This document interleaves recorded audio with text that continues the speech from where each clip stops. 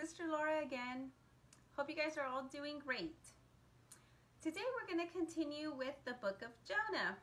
I know, again, Jonah, right? But we're not done with his story. We still need three more lessons. And today's lesson is called Jonah Returns to God. So let's open up our Bibles to Jonah chapter 2. So we've been learning about one of God's prophets named Jonah, right? What is a prophet? A prophet is a prophet is God's servant who takes God's message to the people. God gave his prophet Jonah specific instructions. God had a plan for Jonah's life and Jonah didn't like it. You guys remember that? He rebelled and sinned against what God wanted him to do. Sin interferes with God's plans for our lives, but nothing can stop God's plan. God loves all people. It was never his plan for people to sin and to suffer the punishment of sin. The Ninevites were living wicked lives and God wanted them to be to have an opportunity to turn from their sins so they would not have to be punished um, by their because of their wickedness. Nothing would stop God's plan to allow the Ninevites to hear and have the opportunity to repent and turn away from their sins. Since Jonah was rebelling against God's instructions, God could instruct another person to go and preach or could change Jonah's heart and continue to use him for his work. In this circumstance, God chose to work in Jonah's life and change his heart. God began to work um, in Jonah, and he would be faithful to complete that work. However, Jonah chose to disobey. God did not allow Jonah's disobedience to stop him from doing what he planned to do. God chose to immediately discipline Jonah for his disobedience. Do you remember how God disciplined Jonah for his disobedience?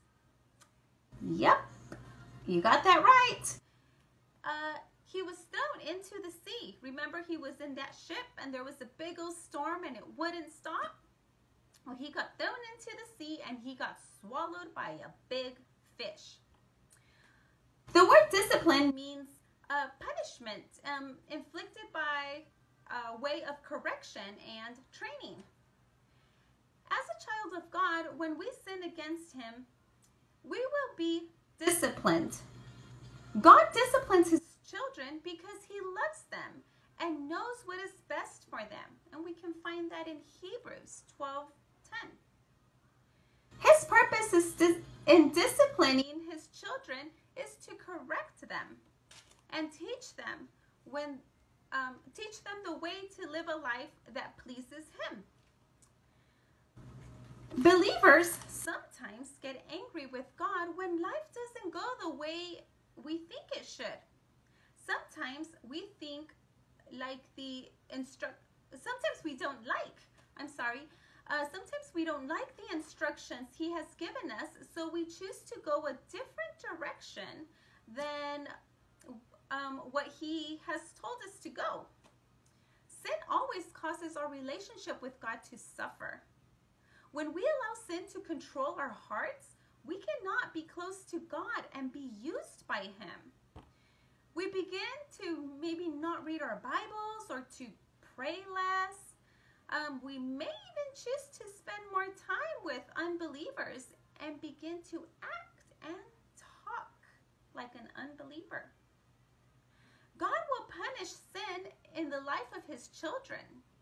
God disciplines his children because he desires them to repent or to turn away from sin and return to a close relationship with him. God is a loving and patient Heavenly Father. He does not punish us as our sins deserve. When we confess our sins, God is faithful and just to forgive and cleanse us from our unrighteousness. And we can find that in 1 John 1 9. So now let's turn our books to John, I'm sorry, Jonah, chapter 2, verses 1 uh, through 10, and listen in on what Jonah is up to now. From inside the fish, Jonah prayed to the Lord his God. He said, When I was in trouble, I called out to you, and you answered me. When I had almost drowned, I called out for help, and you listened to my cry. You threw me into the Mediterranean Sea. I was in the middle of its waters. They they were all around me.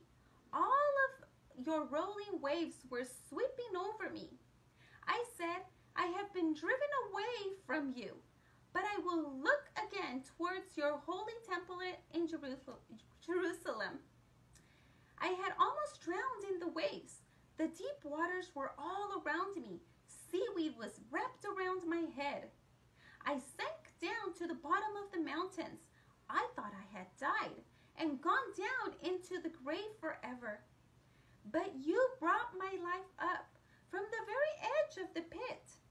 You are the Lord my God. When my life was nearly over, I remembered you, Lord. My prayer rose up to you. It reached you in your holy temple in heaven. Some people worship the worthless statues of their gods. They turn away from the grace you want to give them. But I will sacrifice a thank offering to you, and I will sing a song of thanks.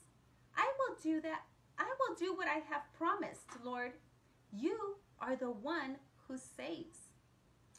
The Lord gave the fish a command, and it spit Jonah up into dry land. So the belly of the great fish was like a timeout chair for Jonah. God put him there because he wanted Jonah to turn from sin and return to God. Jonah didn't have a lot of choices of things to do inside the fish's belly, did he? He could no longer run away from God's plan for him. What did he choose to do? He prayed. Can you think of what else Jonah could have chosen to do?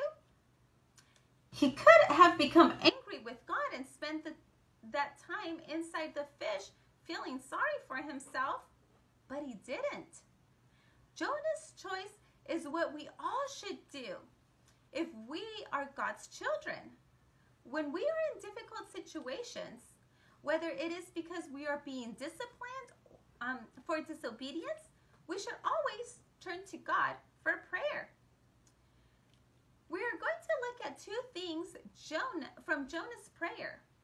He teaches us two very important truths about prayer. The first thing we learn about Jonah's prayer is in Jonah 2 2.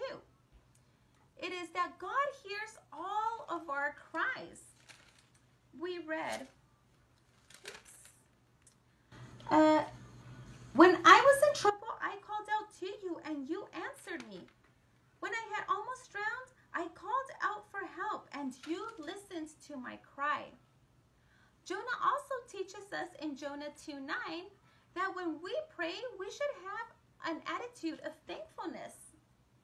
But I will sacrifice a thank offering to you, and I will sing a song of thanks. I will do what I have promised, Lord. You are the one who saves. When we sin against God, we need to cry out to Him and confess our sins. He promises to forgive us.